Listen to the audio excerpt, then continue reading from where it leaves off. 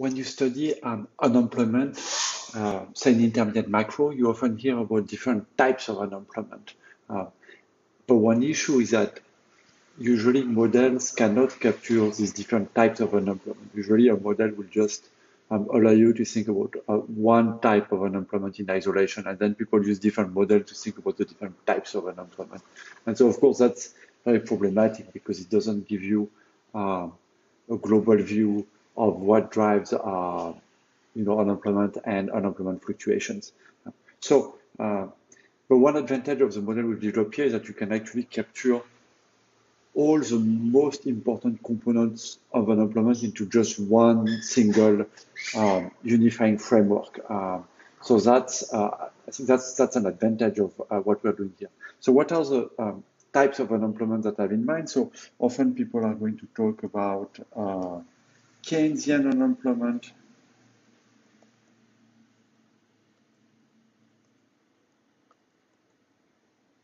and by that, um, they often mean unemployment that's caused by a lack of aggregate demand.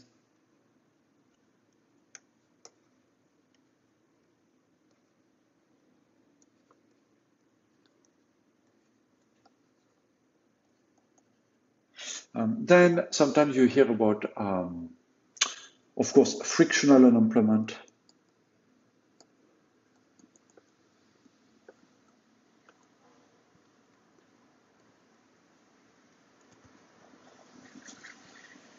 And, and people here mean unemployment that's caused by friction on the labor market. So of course, that's very vague. Friction is just a useless word um, that people use um, to mean basically everything that's not a, a perf, you know, a Walrasian uh, neoclassical market. But of course, in the world is not neoclassical Walrasian world.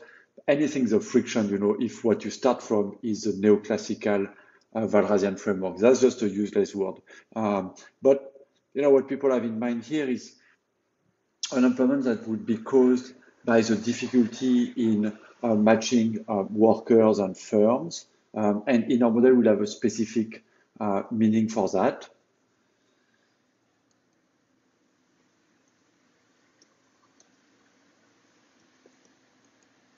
So that's caused by uh,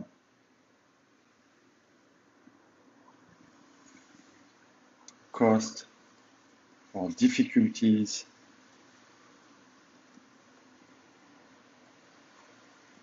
in matching workers with firms. Um, then another type of unemployment that people uh, mention often is what's called classical unemployment.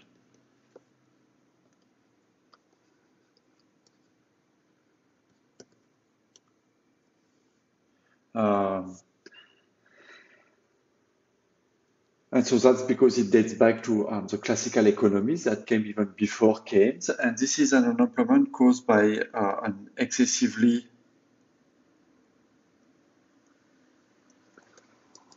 caused by an excessively high real wage, because that was how people thought about unemployment um, before Keynes. And in fact, even for Keynes, an excessively high real wage was a problem because Keynes had this idea that nominal wages were rigid, and so if you had deflation and prices fell, real wages would go up, which would cause unemployment. So this was something that was um, quite popular back then. So you have these different uh, types uh, of unemployment uh, that people often mention with these ideas. Um, and frictional, you know, possibly sometimes people talk about structural unemployment. I imagine that what they have in mind is something like frictional unemployment, so something that's caused by difficulties in matching workers with firm. Uh, but it's kind of hard to say because people don't really have a model of that. But you know, I imagine that that frictional and structural are um, kind of the same thing. Um, and here, what's going to be nice about our model is that it allows us to capture um, all of these components of unemployment. So let's see how. So where does unemployment shows up? So you can always see unemployment once uh, you look at your labor market diagram.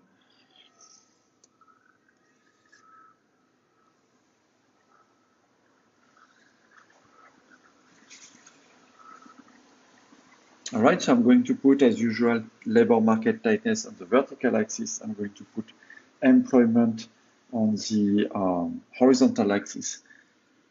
Here we have H, the size of the labor force. So we know that on the labor market, we'll have our labor supply. It's going to look like this. In tightness, we know that we'll have a labor demand. That's going to look like this.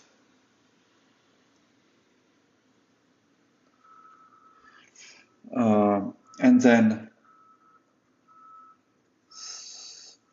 we know that um, employment is given at the intersection of labor demand, labor supply. We know that the tightness is given at the intersection here. Um, and so where is unemployment? So of course unemployment is going to appear here.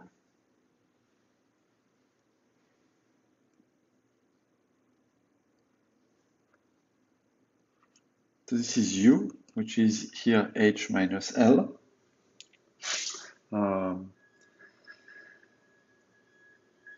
and so, um, so here we, we can see direct, directly unemployment on the uh, diagram. But what you can uh, see, of course, is that, uh, so I need to give you the expression for the labor demand because there, once we have the expression for it, we'll see the different components of unemployment appear very clearly.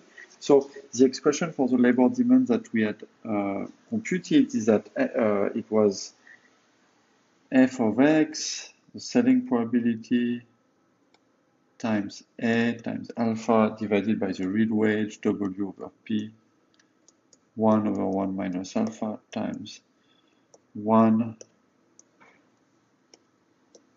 over 1 plus tau hat of theta alpha over 1 minus alpha. So this is what gives us the position uh, of the labor demand. So that's what gives uh, employment as a function of um, tightness.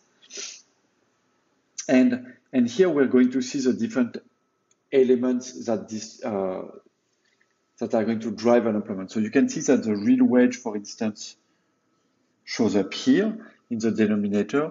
And so that captures um, the classical component of unemployment because you can see if the real wage is high, the labor demand is going to be less. So for instance, that's what happens if the real wage goes up. Your labor demand is going to be less and is going to shift inside.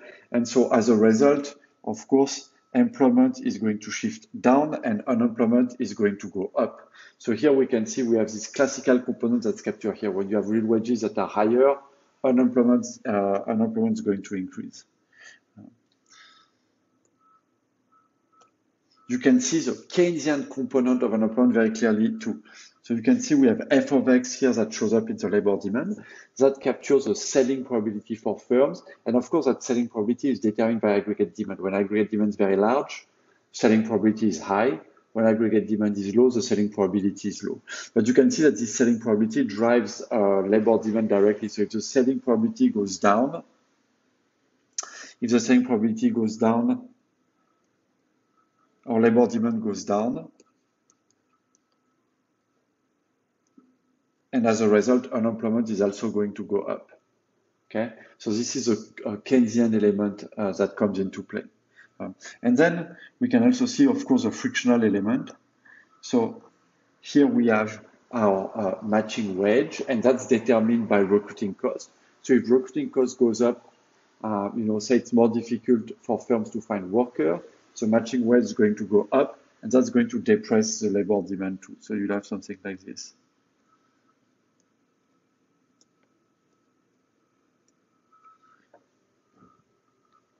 And, uh, and as a result, we'll also see more unemployment.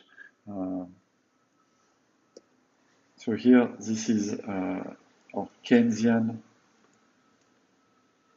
Keynesian element. This is our classical component of unemployment, and this is our frictional.